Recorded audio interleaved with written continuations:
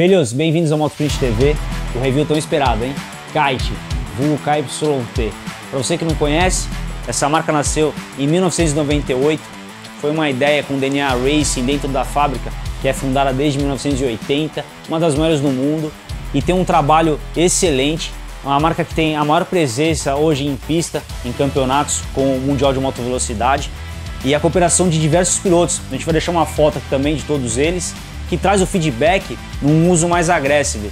Fora isso, a tecnologia desse capacete e o desenvolvimento tem uma sede na Itália que faz todo o trabalho, um software mais irado possível, atualizado, tem o uso do KSD 3D, do CAD 3D, do CFD, então você tem muito detalhe nesse capacete, o que faz com que ele seja muito prazeroso de usar e ao mesmo tempo com muita aerodinâmica e leveza.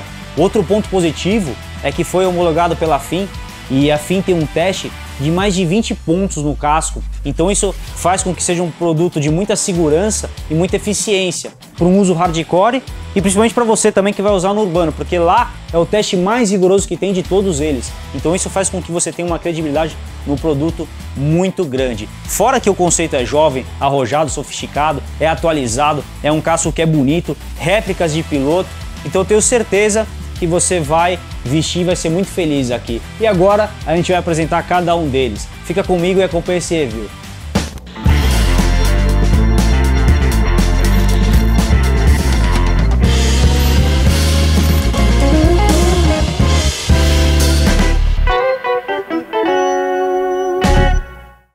Esse aqui é o modelo NFR, mais detalhes na descrição do vídeo, deixa um like, se inscreve. Seria um casco para um uso Sport Touring, mas não se esqueça do que eu falei no TT Corse, vale aqui também.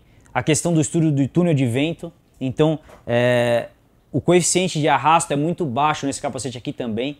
É um dos CX mais baixos, pra você ter uma ideia. Quando você está numa posição speed, sua cabeça fica a 65 graus. Quando você está numa naked, 77. Então numa Speed o CX é 0,47, na Naked é 0,51. O que significa? Quanto mais próximo do zero o CX, mais o capacete é estável, menos vibração ele vai ter e principalmente quando você puxa para um pêndulo ou sai da proteção da bolha, o capacete continua lá sem te incomodar. Isso é bom porque você não precisa esperar é, a turbulência parar para se concentrar no que você estava fazendo. Bom, Pensando no Sport Touring, o que, que você vai ter aqui nesse capacete? Uma viseira interna solar com proteção UV, onde o manuseio é aqui na lateral esquerda, a mão da embreagem, justamente porque ela é mais fácil, inclusive. E aí você tem um capacete com duas viseiras. A solar, claro que aqui no caso do vídeo a gente colocou uma fumê, mas você pode colocar a sua cristal. A, nessa, nesse modelo, a trava é aqui na lateral, e você tem a viseira inclusive preparada para pinlock. Eu já vou mostrar para vocês como é que vocês vão fazer para colocar e retirar a viseira aqui, no caso a maior, né? E nisso a gente também tem um campo de visibilidade aqui, um campo de visão gigante, 210 de periférica.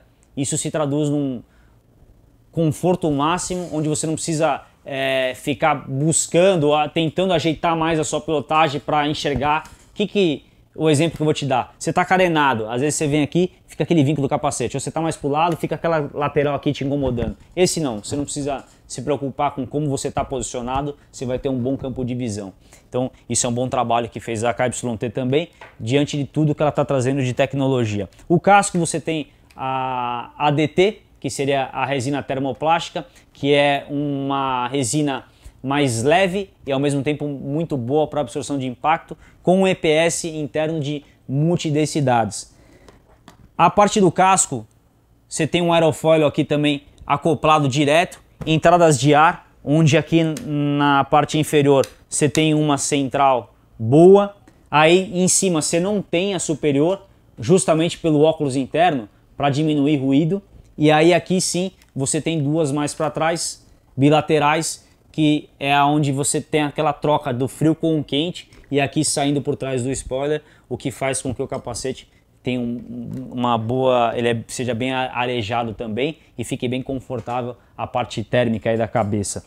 O desenho, não preciso nem falar, é luxuoso demais, o grafismo ele é atual e ao mesmo tempo vou te falar que é hardcore, né? chama a atenção. Na parte do forro, inclusive, deixa eu pegar o, o paninho aqui para não machucar de, de pintura. Você já tem aquela parte de emergência, ó, no caso você tomou uma alguma coisa, precisa tirar seu capacete sem mexer muito sua cabeça, você puxa ela por aqui, o forro sai. Isso aqui é muito importante para não só para pista, como para um uso normal. Então, essa parte é legal desse capacete. O forro muito bem acabado. Aqui você já tem um tecido diferente. Ele lembra até um pouco o Fleece, e inclusive é o mesmo modelo do NX Race, que é o top de linha. Então ele é muito confortável, ele absorve muito bem o suor também.